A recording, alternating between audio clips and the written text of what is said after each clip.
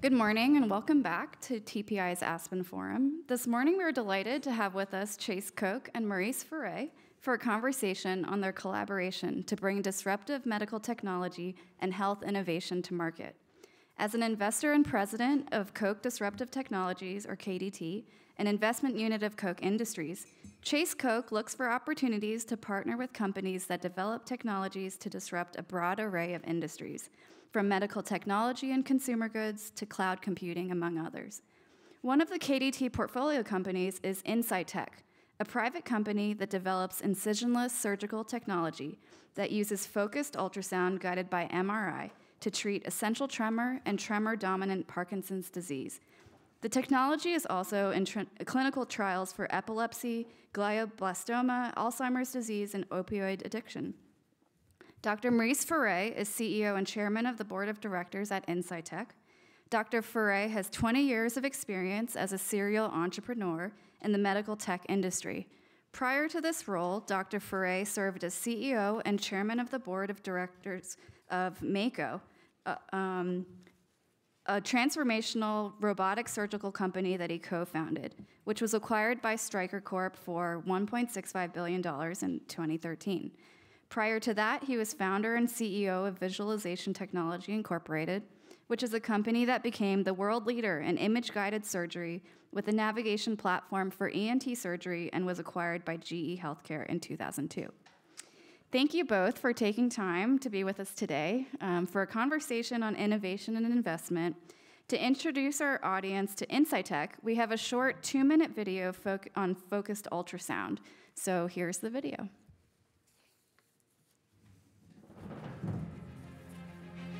Acoustic energy is transforming healthcare in unique and profound ways. By providing innovative treatments and therapies for our minds and bodies. From essential tremor and Parkinson's to glioblastoma and Alzheimer's. We want to transform people's health to help them go from life threatening to life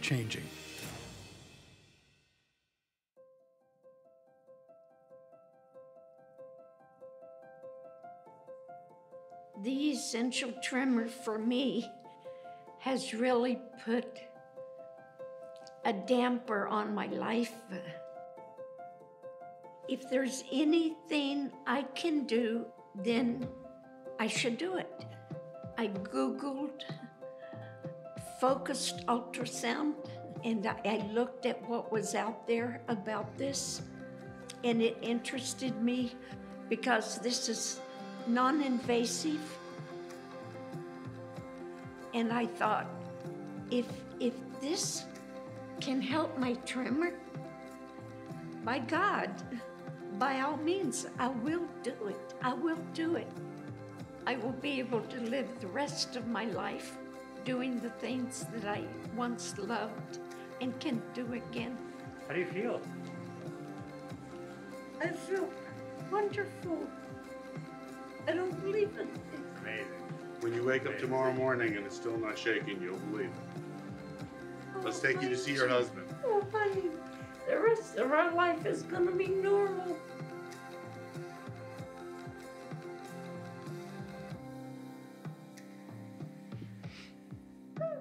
We're so happy for you.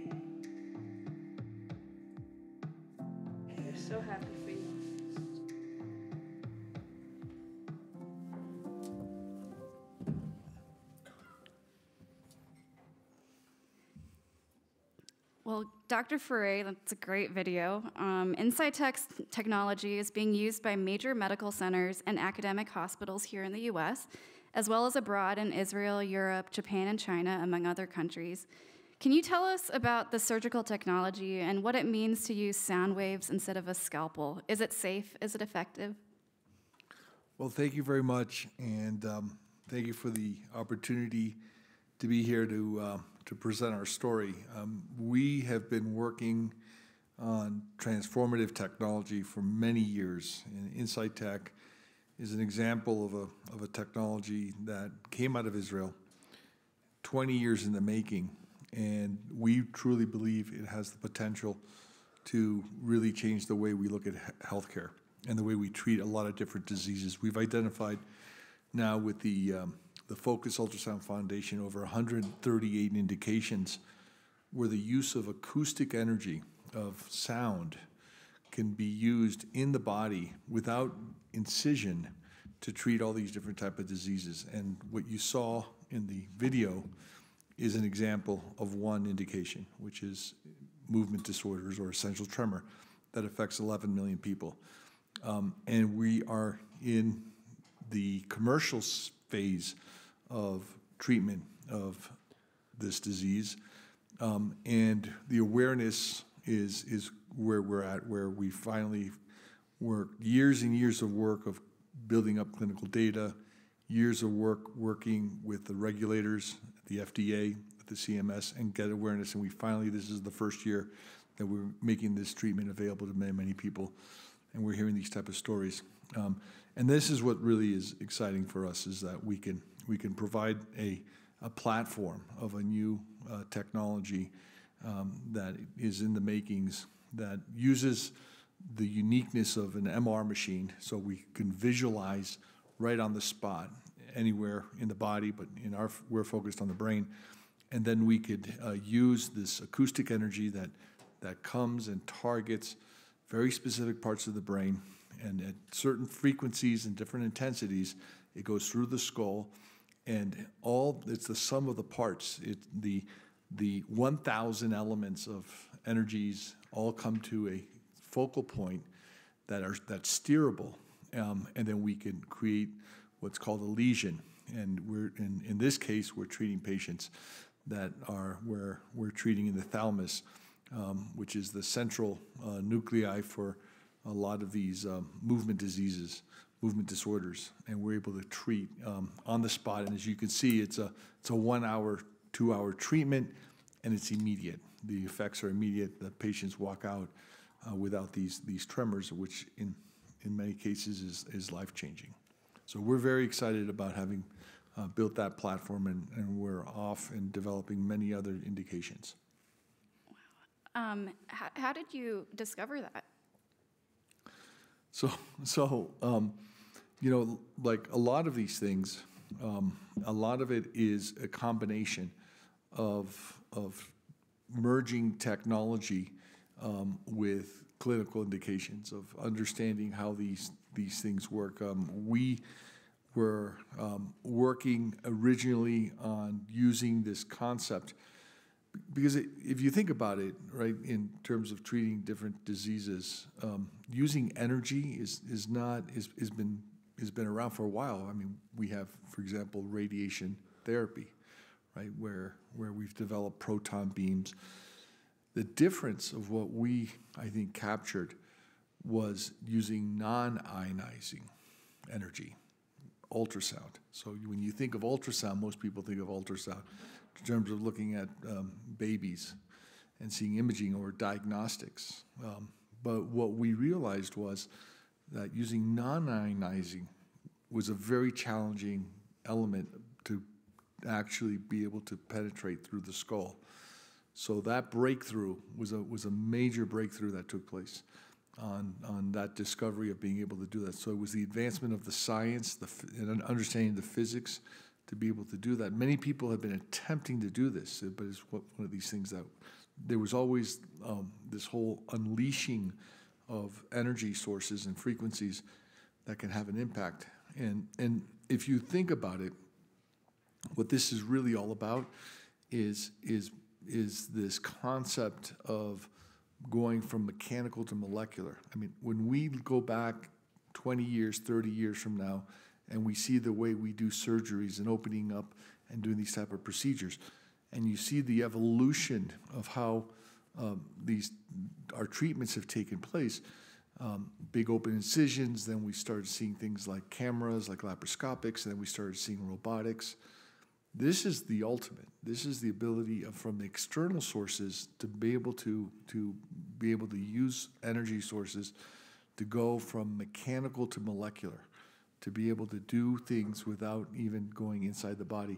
Um, and the fact that we do it inside, um, not a surgical suite, but we do it inside an MRI machine, um, allows the, the, the surgeon and, and the team to actually visualize in real time and have what's called a closed loop system. So it's so all that technology was it was it was an involvement over the last 20 years of, of creation. Um, and and it was just a lot of a lot of tenacity, hard work, of, uh, and and a continuation. And we're very early in the cycle of what this what this magnitude potential of changing the way we we deliver healthcare is going to take place. That's awesome. And Chase Koch, thank you for being here. Um, how you. did you decide to invest in Insightec and incisionless surgery? Koch Disruptive Technologies is a unique investment unit under Koch Industries that invests in a number of highly innovative startups. Um, what in your investment philosophy aligns with Insightec and Maurice's team? Well, I mean, I think uh, Insightec and the way um, uh, Maurice described it, and also seeing that video, you can see why, uh, you know, a company like Koch would be so excited about getting behind it. Um, you know, when we uh, first got the call and the opportunity back in 2017, and our, our team uh, went up to Sunnybrook in uh, Toronto, which is where they were they were uh, doing some of these procedures. Uh, it was basically all the diligence we needed to do on the opportunity. When you see, we saw a woman uh, go into you know that procedure, and uh, an hour and a half later come out, and this was a woman that had um, you know 20 years of essential tremor, and where she, you know she would be in bed and just uncontrollable tremor. So she dealt with this affliction, her, you know, pretty much her entire life, and then to see her come out of the procedure and the ability to shake her hand and her life being completely transformed. I mean, there's there's there's nothing more transformative than that, right? And so, again, that was that was kind of that was it for us, and um, it actually helped because I, I launched uh, Koch Disruptive Technologies right at the same time when the, when we got the call on on Insightec. And uh, it helped us really shape the vision of the type of companies we were looking for. And um, you know why life sciences for Koch? Maybe I'll take a step back from from KDT and, and talk about really a transformation that Koch Industries has been going through the last five or six years. Um, you know, my grandfather started Koch Industries really um, based on uh, on fossil fuels and logistics and refining and you know making gasoline, jet fuel, um, diesel um, type products. But uh, over time, you know, we, we recognized that we needed to transform and get into into uh, different industries. And if you look at Koch Industries today, we're in 11 different platforms. Um, we, we operate in 70 countries and have 130,000 employees across. We operate across the majority of the economy. But uh, five or six years ago, we looked at our portfolio and said most of our um, most of our assets and where we're creating value is industrial and we recognized that we needed to transform from being an industrial company to a technology company. Otherwise, a lot of our uh, businesses would become dinosaurs. And, uh, and you know, Joseph Schumpeter's creative destruction model would take over. If, if you're not destroying yourself, the market will. And so we've, um, just in the last uh, five or six years, um, invested over $30 billion to try to, to drive that transformation. And so examples include, you know, um, buying an ERP software company, Infor, to really help Koch transition to be a software company and apply software in new and different ways across our industrial platforms. We also bought a company called Molex uh, five or six years ago that is really the heart of uh, the IoT world and really help us connect our factories in ways that could add more value, understand what was going, run them safer, more reliably et cetera. And so all of our, our um, companies are going through this transformation. And so KDT, uh, when I launched that in 2017, it was with a vision of how could we be the preferred partner to the most disruptive entrepreneurs in the world that have technology uh, like Maurice's um, that are basically going to reshape the, the future and how these these uh, these industries work. And um, and so uh, one of the roles of KDT was not we, we had kind of three outcomes that we're trying to create with our investments. One is we're trying to disrupt our core businesses. An example of that would be getting into electric vehicles, autonomous vehicles that would disrupt basically my grandfather's business they started back in the 40s. Um, and um, the other one is to transform our core capabilities. So whether it's logistics, manufacturing, what, whatever it is, how do we make that better? So automation, robotics, we may have a lot of investments there. And then the third one, and this is where life sciences fit, is get Koch Industries into completely new platforms and new areas that we haven't been in before, but where we have capabilities where we can add value. And med tech and life sciences was a completely new area. So it was serendipitous that um, you know Maurice called Koch, and um, and you know said, "Hey, there's an opportunity here to invest." And so, why is this a sweet spot uh, for KDT? I'll just kind of give the framework for how we look at companies and why it, why Insightec was was so perfect for us. The first one is we look at we want to find principled disruptive entrepreneurs. So I'll embarrass Maurice here a little bit, but he fit that mold perfectly. And um, not only we, we knew he had aligned values um, with him, um, and how he's demonstrated to run businesses and build businesses, uh, just given the, the resume that you walk through, three-time founder, a very successful founder, um, but also his vision and his passion, passion for his vision and uh, the team that he's built around him. So that's one. The second one is we look for um, level of disruptiveness. So when you look at, uh, Maurice talked about it, but when you look at um, basically what this does to a patient, for a patient, in terms of transforming their life and extending their life, but also quality of life, you can't even put a price on that.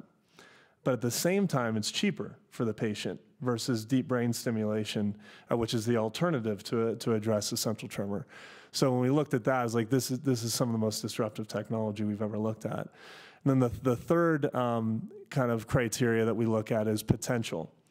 And when you look at, um, you know, this, the video just covered essential tremor, but Maurice talked about, you know, there's 4,000 disorders in the brain that essential tremor, or that, um, sorry, focused ultrasound could potentially address. Maurice talked about 138 indications that they've already demonstrated, you know, and have some kind of um, experimental uh, technology around focused ultrasound on. So when you think about that, this uh, could be the next, uh, you know, Da Vinci uh, robotics technology, and uh, with, with what Intuitive Surgical has has built there, or even larger than that. So when you look at multiple shots on goal and the ability to transform hundreds of millions of lives with technology that's um, that's that's obviously right in our sweet spot. And then the last one is uh, mutual benefit. We look at can Koch Industries add value beyond just writing a check?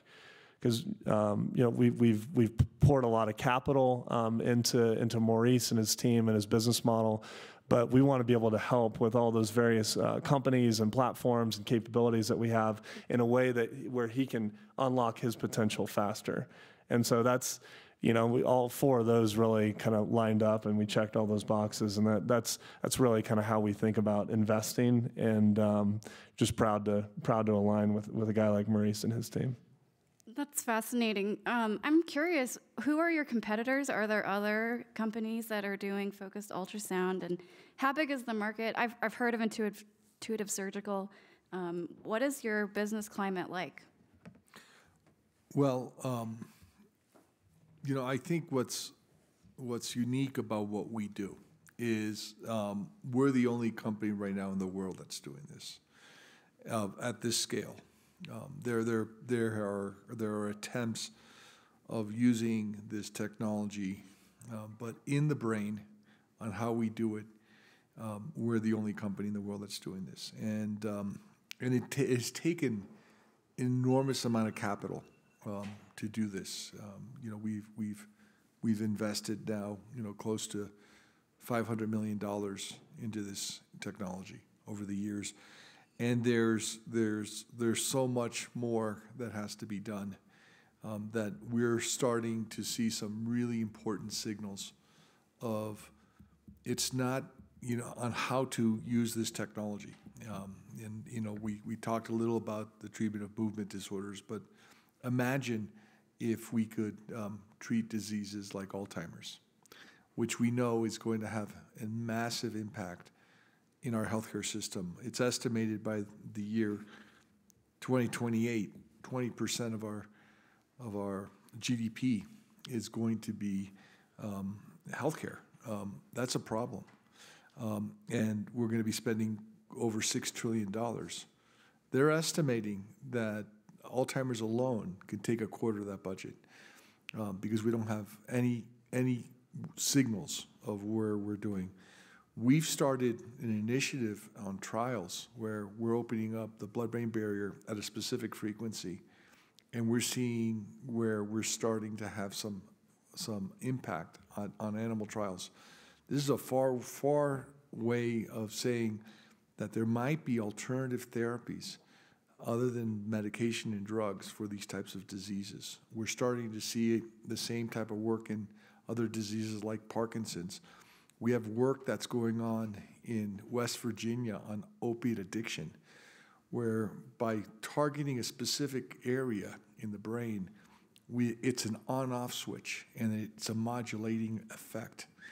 So we're learning a lot. Now, lot. sorry to interrupt you. That one, it, to me, is just mind blowing. You think about uh, the skyrocketing addiction rates, especially post COVID, um, and people battling addiction. I mean, just globally. And if you could put them in a machine like this and know exactly where the spot spot in the brain that causes the addiction, and be able to to address that in, in a matter of an hour. I mean, that is just. I don't mean to interrupt you, Maurice, Yeah. but it, it just it really blows your mind of the possibilities here.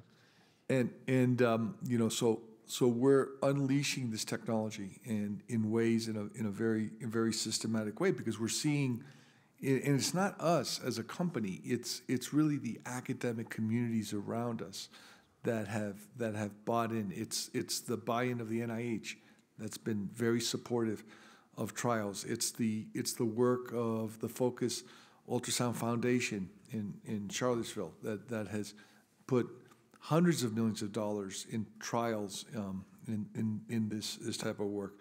So there's a there's a there's an eagerness and a um, a, a, a pace where we have to try to understand some of these diseases that are affecting us and are going to and and where we think that the solutions are are are drugs. There's a lot of things we're learning. I think one of the biggest breakthroughs that we're learning in the life sciences is is, is obviously immunotherapy and um, in in that world what we're learning about using and stimulating energy is that in, in, in, in diseases um, like glioblastoma or diseases like brain metastasis, and these are life sentences of, you know, with GBM, you have a 15 month um, sentence. I mean, that it's, it's, it's a horrible disease. And in the last 20 plus years, there has been nothing. There's been no, no change in the way that we treat patients. It, it's, it's, you know, we've seen the deaths of, you know, Ted Kennedy and Bo Biden and John McCain as just examples of how horrible this disease is. Um, and, and, and similarly, diseases like ALS is the same type of thing. We're starting to see these types of diseases that are just life threatening and there's no, there's no cure, there's nothing in the frontier. And what we're finding in our early trials is that um, in combination with immunotherapy, by using focus ultrasound and targeting the areas and priming the area, that you're creating a stronger immune response so that your body knows actually how to attack it.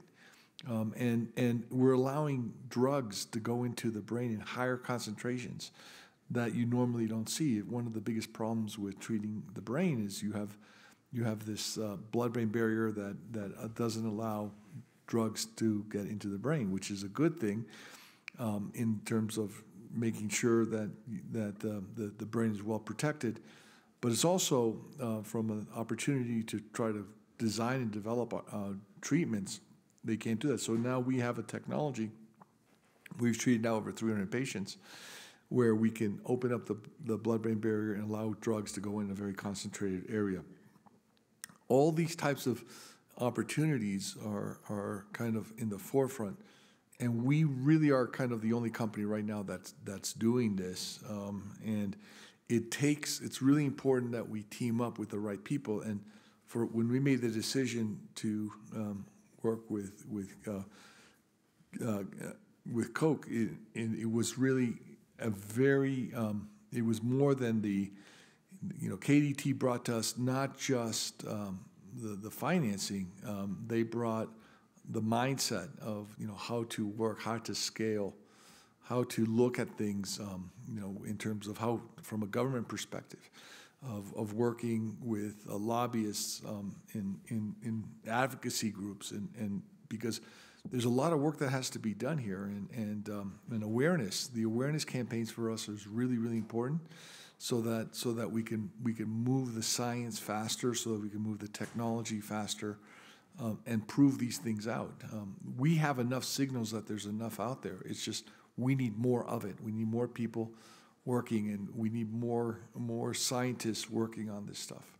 Um, you know, and, and I can tell you at the university levels, you know, we need more we need more PhDs, we need more engineers, we need more scientists, um, and and we have to go at a at a faster pace than what we're doing.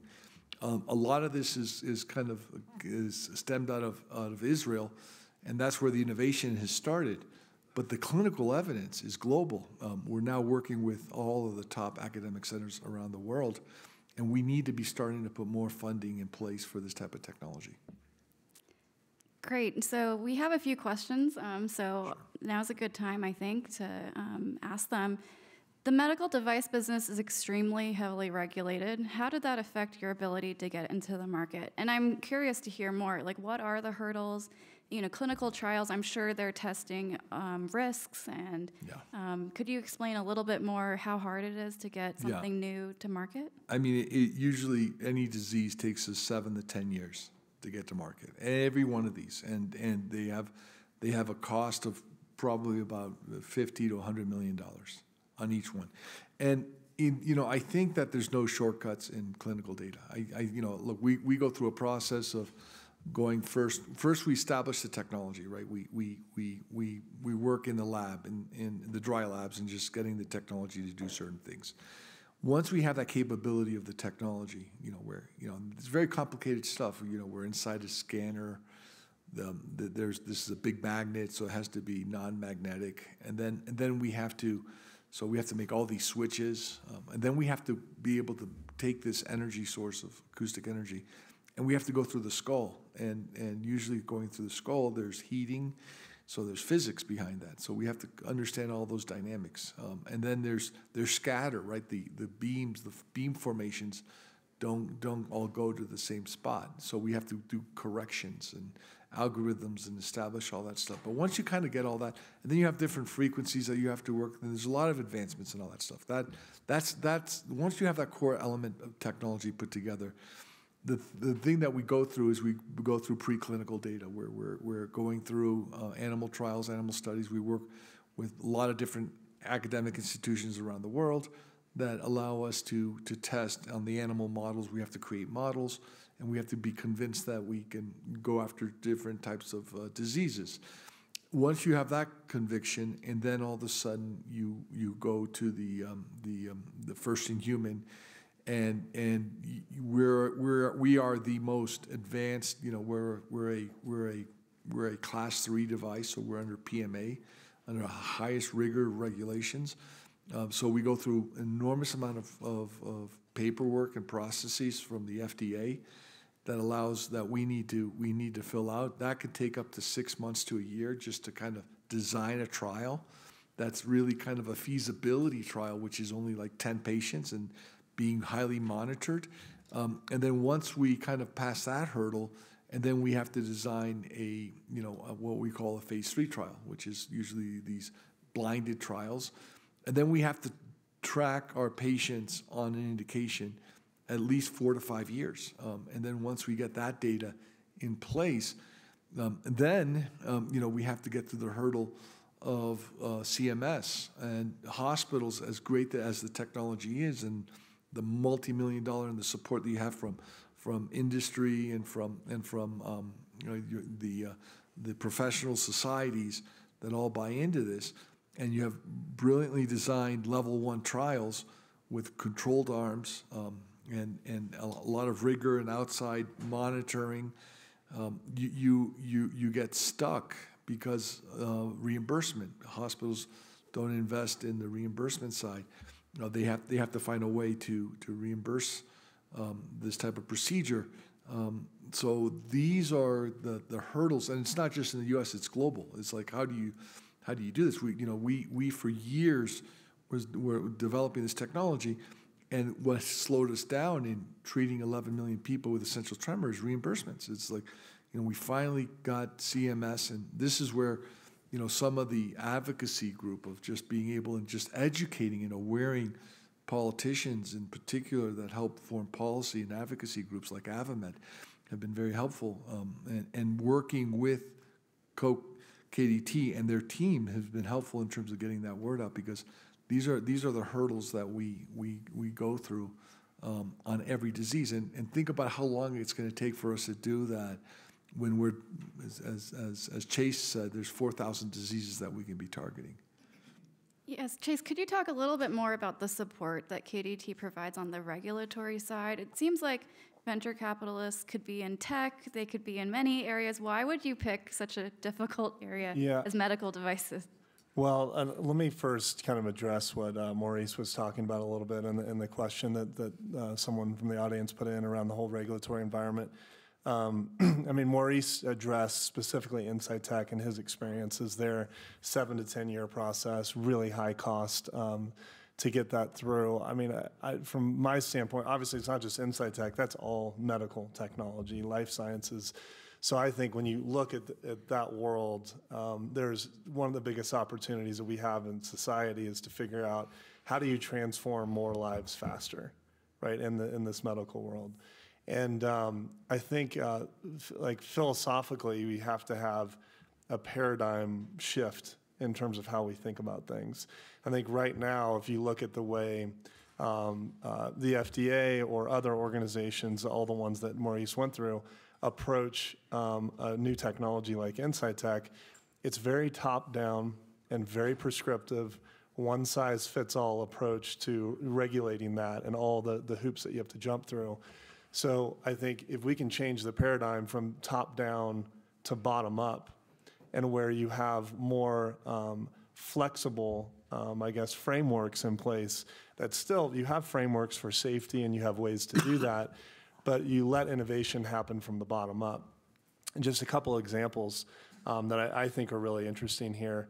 Um, on, if you look at the history of innovation, I, uh, some of the most revolutionary innovations came from the bottom up. If you look at the Wright brothers, for example, and the, and the airplane in the early 1900s, at the same time, there was all these uh, government programs pouring uh, a lot of capital into how do we get the first airplane done.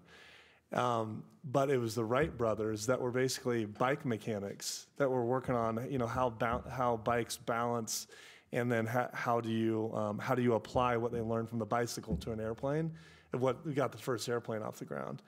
So I know it maybe seems like a silly example, but no top-down solution is going to say, okay, let's go find the Wright brothers and wherever they were, Ohio, to, to figure that out, right? And then if you look at a more recent example um, with COVID testing, um, and when when COVID hit, um, the CDC um, initially wanted to basically control the, the basically all testing and the supply of tests and make sure that everything you know went through this very prescriptive kind of one size fits all approach. When I think you know they very quickly realized we need to open this up to the market because there's all sorts of innovations and entrepreneurs out there that have new technologies that can solve this problem that's right here, right now. And if we don't do that, I mean, obviously lives are at stake.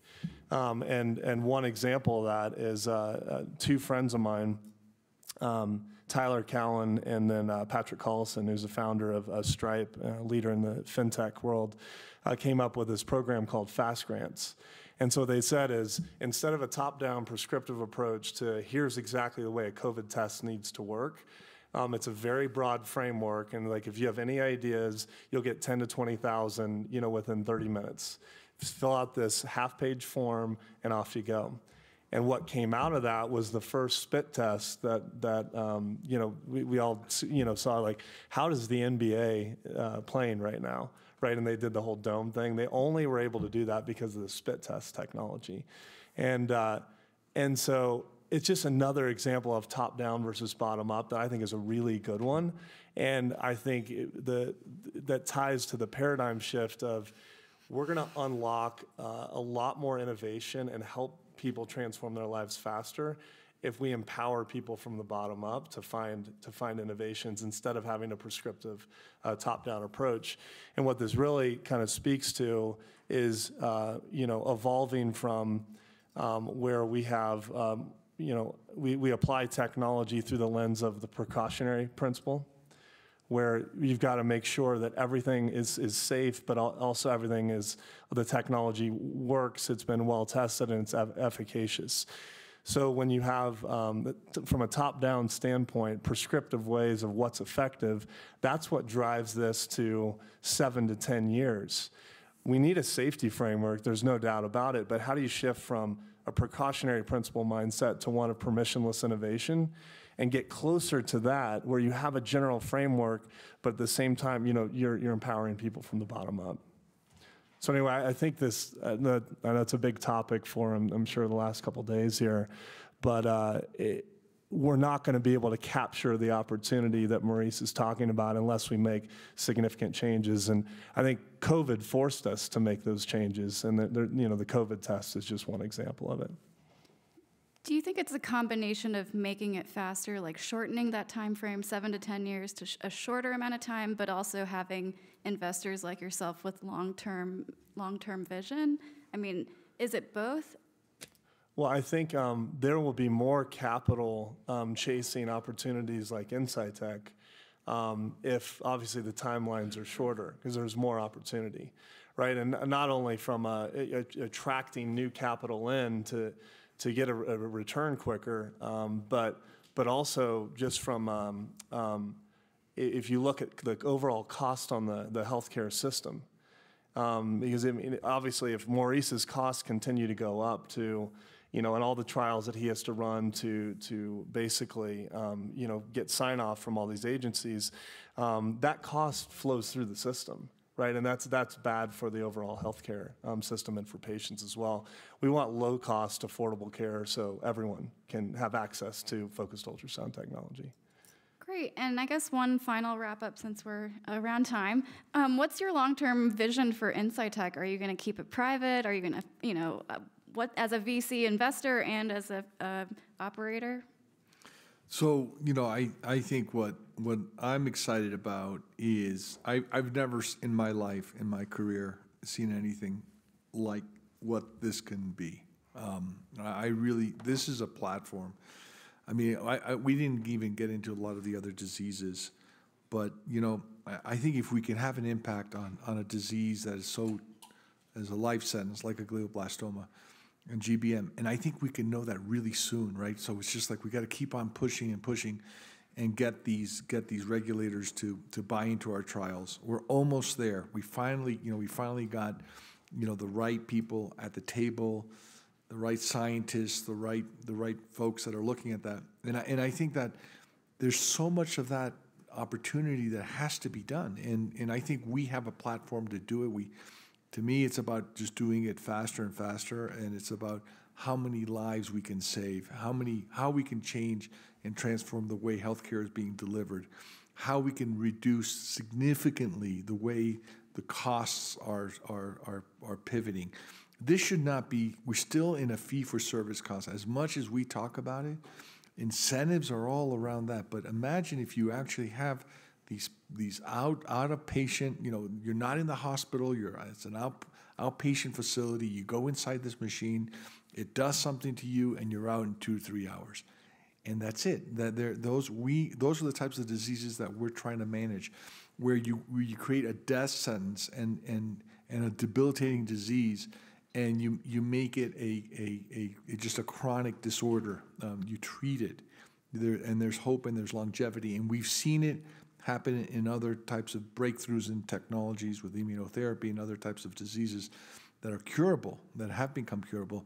Um, we need to do that. We need to focus on these big diseases that are that are life sentences, and and um, and I think that our you know we we want to continue to to be there, to do it and use the resources that we need to get it done. Uh, so we we don't think about it as you know exits and this and that. We just think about it of you know, how, how we can continue to grow and make, make, make progress.